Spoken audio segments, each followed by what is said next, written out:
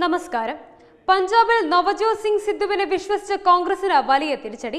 A B പിയുടെ സർവേയിൽ പഞ്ചാബിൽ കോൺഗ്രസിന് സീറ്റുകൾ വലിയ തോതിൽ കുറയുമെന്നാണ് പ്രവചിച്ചിരിക്കുന്നത്.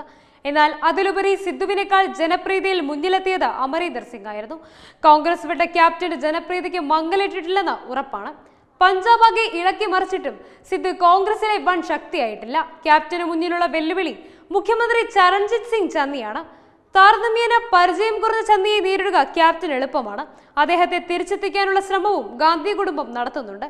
കോൺഗ്രസ് അൻപത് സീറ്റിലേക്ക് വീഴുമെന്നാണ് എ ബി പി സർവേയിൽ പറയുന്നത്. നിലവിൽ എഴുപത്തിയേഴ് സീറ്റുള്ള കോൺഗ്രസിന് ഇരുപത്തിയേഴ് സീറ്റുകൾ കുറയുമെന്ന അർത്ഥം. ആം ആദ്മി പാർട്ടി ഏറ്റവും വലിയ ഒറ്റകക്ഷിയാവുമെന്നും പറയുന്നു. ഇതിന് പ്രധാന കാരണം സിദ്ധു തന്നെയാണ്. അമരീന്ദറിനെ പിണക്കിയത് വലിയ തിരിച്ചടിയാണ്. സിദ്ധുവിനാണെങ്കിൽ ജനപ്രീതി ഇല്ലെന്ന് സർവേയിൽ തെളിയുകയും ചെയ്തു. ഇനി അമരീന്ദറിന്റെ നീക്കങ്ങൾ തടയാനുള്ള ശ്രമം കോൺഗ്രസിന് ആലോചിക്കണം. അതിനെ തടയാൻ ചരൺജിത് സിംഗ് ചന്ദയ്ക്ക് സാധിക്കും. അദ്ദേഹത്തിന് അമരീന്ദറുമായി അനുനയത്തിന് മടിയില്ല. എന്നാൽ സിദ്ധുവിനെ നിയന്ത്രിച്ച് നിർത്തേണ്ടി വരും. അമരീന്ദർ രണ്ടായിരത്തി പതിനേഴിൽ പട്യാലയിൽ നിന്ന് ജയിച്ചത് അൻപത്തിരണ്ടായിരം വോട്ടുകൾക്കാണ്. സംസ്ഥാനത്തെ ഏറ്റവും ഉയർന്ന വിജയം മാർജിനാണിത്. അമരീന്ദർ കോൺഗ്രസിനെ തകർക്കുമെന്ന് ഉറപ്പാണ്. രണ്ടായിരത്തി പതിനേഴിൽ ക്യാപ്റ്റൻ വിജയിച്ചത് മാത്രമല്ല ഭൂരിഭാഗം സ്ഥാനാർത്ഥികളും ഇരുപതിനായിരം വോട്ടുകൾക്കോ അതിനു മുകളിലോ ഭൂരിപക്ഷത്തിന് വിജയിക്കുകയും ചെയ്തിരുന്നു. പക്ഷേ ഇതിൽ ഇരുപത് സീറ്റുകൾ ഇഞ്ചോടിഞ്ച് പോരാട്ടം നടന്നവയാണ്. പതിനായിരത്തിൽ താഴെ ഭൂരിപക്ഷത്തിനാണ് ഇവിടെ കോൺഗ്രസ് സ്ഥാനാർത്ഥി വിജയിച്ചത്. അതിൽ തന്നെ പത്ത് പേർ അയ്യായിരത്തിൽ താഴെ വോട്ടിനാണ് വിജയിച്ചത്. ഈ സീറ്റുകളിലാണ് ക്യാപ്റ്റൻ ലക്ഷ്യം വെക്കുന്നത്. ഉപമുഖ്യമന്ത്രി സുഖ്ജീന്ദർ സിംഗ് രണ്ടാവ ധേര ബാബ നാനാക്കിൽ നിന്ന് വിജയിച്ചത് വെറും ആയിരത്തി ഒരുന്നൂറ്റി തൊണ്ണൂറ്റി നാല് വോട്ടിനാണ്. ഇത്തവണ ഇദ്ദേഹത്തെ തോൽപ്പിക്കാൻ അമരീന്ദറിന് സാധിക്കും.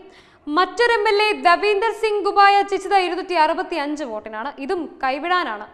ചെറിയ തോതിലുള്ള ഭരണവിരുദ്ധ വികാരം അത് ഈ സീറ്റുകൾ കൈവിടാൻ. നിലവിൽ കോൺഗ്രസ് ഭരണത്തിനെതിരെ ആ വികാരമുണ്ട്. പഞ്ചാബ് ലോ കോൺഗ്രസ് വില്ലനാവുക ഇവിടെയാണ്.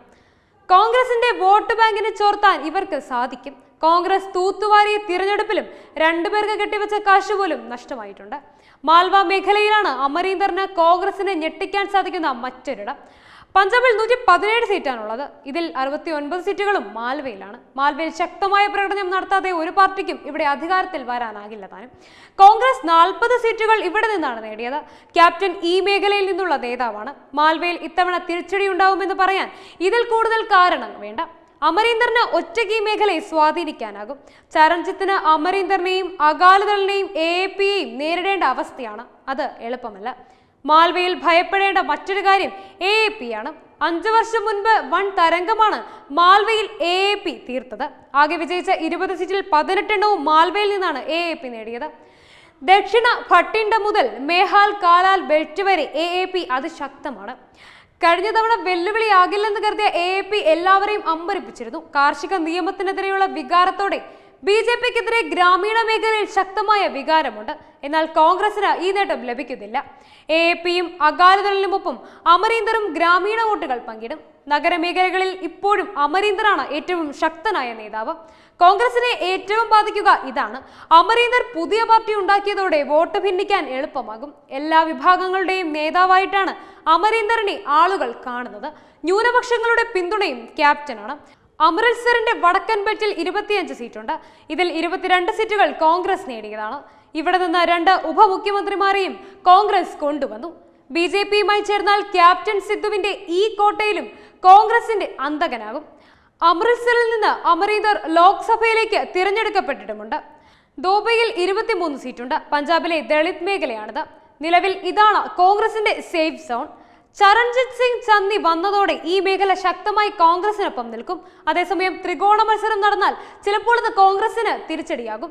ഭരണവിരുദ്ധ വോട്ടുകൾ ഭിന്നിക്കും. രണ്ടായിരത്തി പതിനേഴിൽ മുപ്പത്തി എട്ട് പോയിന്റ് അഞ്ച് ശതമാനം വോട്ടാണ് കോൺഗ്രസിന് ലഭിച്ചത്. ഇതിലാണ് ഇത്തവണയും പ്രതീക്ഷ. എന്നാൽ നഗരമേഖലയിൽ നിന്ന് പതിനഞ്ച് ശതമാനം വോട്ട് ക്യാപ്റ്റൻ ചോർത്തിയാൽ അതോടെ തൂക്കുസഭയ്ക്ക് പഞ്ചാബ് സാക്ഷിയാകും. അമരീന്ദർ അതോടെ കിങ് മേക്കർ ആകും പത്ത് സീറ്റ് ക്യാപ്റ്റന്റെ പാർട്ടി നേടിയാൽ അദ്ദേഹത്തിനൊപ്പം നിൽക്കാൻ കോൺഗ്രസ് തയ്യാറാക്കേണ്ടി വരും.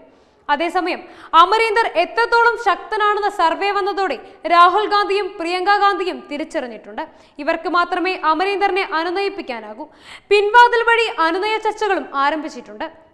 എന്നാൽ ഇതെല്ലാം ക്യാപ്റ്റൻ തള്ളിയിരിക്കുകയാണ്. ഗാന്ധി കുടുംബത്തെ താൻ കാണില്ലെന്ന് അമരീന്ദർ പറഞ്ഞു. ഇനിയൊരു തിരിച്ചുപോക്കില്ലെന്നും അമരീന്ദർ പറഞ്ഞു. പഞ്ചാബ് സർക്കാരിലെ മന്ത്രിയാണ് രാഹുലിനെയും സോണിയയെയും അമരീന്ദർ കാണുമെന്ന് പറഞ്ഞത്. തന്റെ പാർട്ടിയുടെ നടപടികളുമായി മുന്നോട്ട് പോവുകയാണ്. സംഘടന രൂപീകരിച്ച പാർട്ടി ചിഹ്നത്തിനായിട്ടാണ് ശ്രമമെന്നും അമരീന്ദർ പറഞ്ഞു. എന്നാൽ ഹൈക്കമാൻഡ് ക്യാപ്റ്റനെ ഒപ്പം നിർത്താനുള്ള ശ്രമവുമായി മുന്നോട്ട് പോകുമെന്ന് തന്നെയാണ് സൂചനകൾ. Web desk Tatwamayi news.